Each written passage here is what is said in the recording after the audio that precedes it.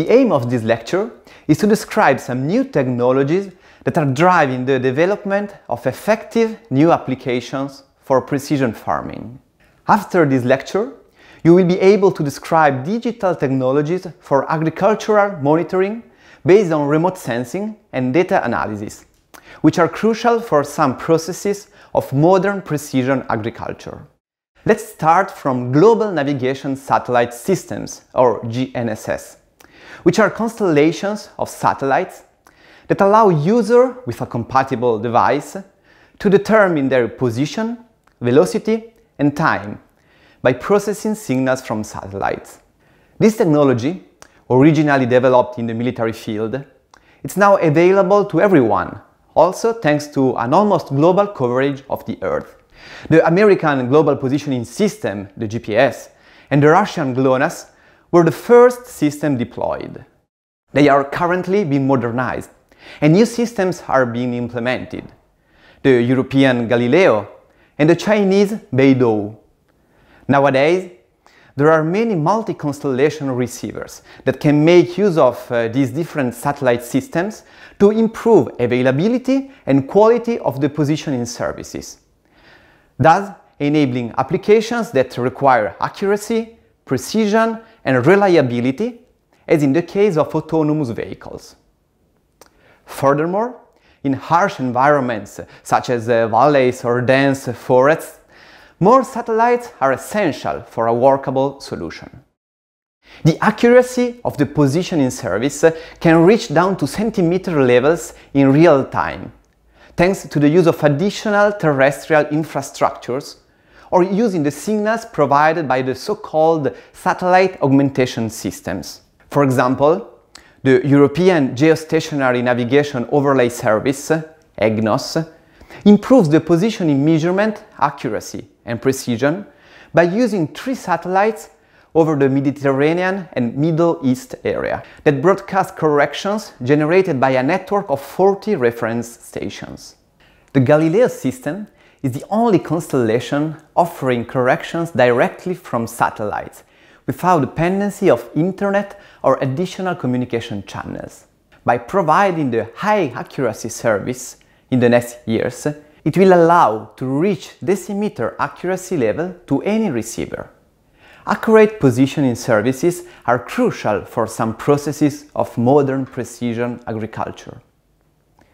There are of course autonomous machineries that reduce the human workload and ease the seeding, cultivation and harvesting processing.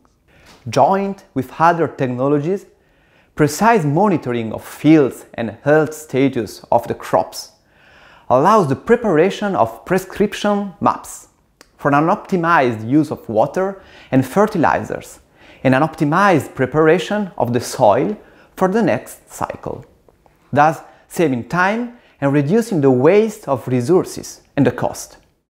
Reliable GNSS signals are essential for operating UAVs efficiently and safely.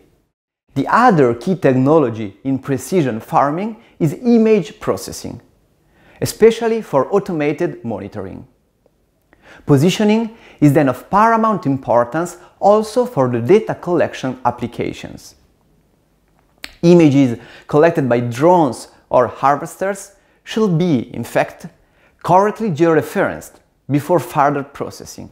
Yield monitoring, biomass monitoring, soil condition monitoring, livestock tracking, Field delineation are just some examples of applications of a joint use of aerial imagery and precise georeferencing.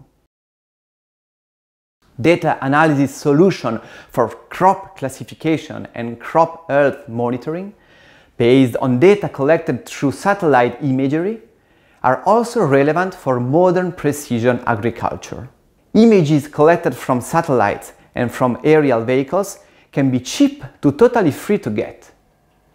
For example, the Copernicus Revolutionary Earth Observer provides multi-temporal, multispectral images for free, with temporal resolution of 10 days at the equator.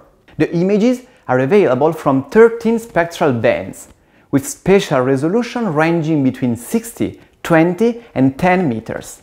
algorithms can be trained using machine learning techniques to classify the land coverage. From the images, we can classify which area is covered by which type of crop.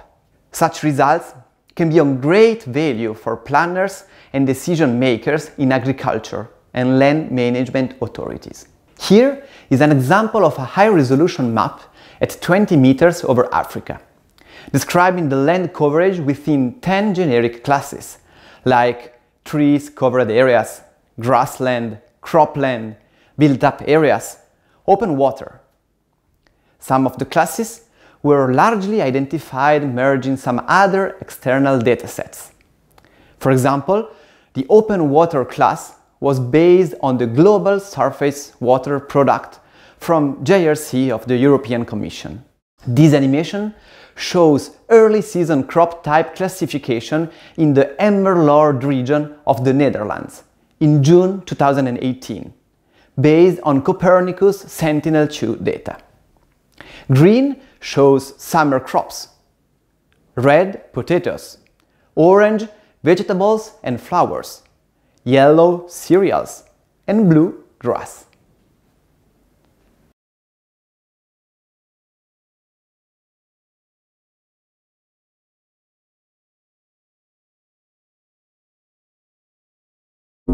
you